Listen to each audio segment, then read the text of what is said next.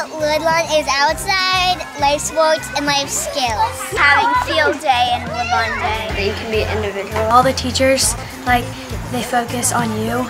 My wife and I moved here in 2000 from Seattle, and we found this piece of property. We thought it'd make a great place for a private school. Woodlawn is small enough that allows for all students to participate in all activities. That's something very special and very unique about Woodlawn. Everyone has such different personalities and we're all still able to come together. The interaction between the teachers and the students is what allows Woodlawn to offer opportunities that other schools don't have and take really challenging and well-developed classes at the same time.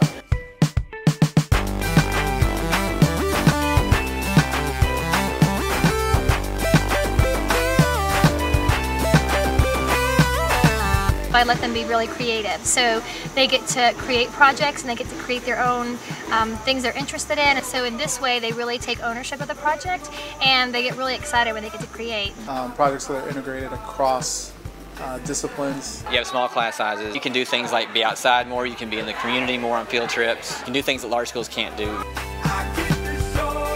Everyone's really inclusive. You can join any club and start any club that you want to. And from a teacher's perspective, it allows us to develop our curriculum based on the students that we have.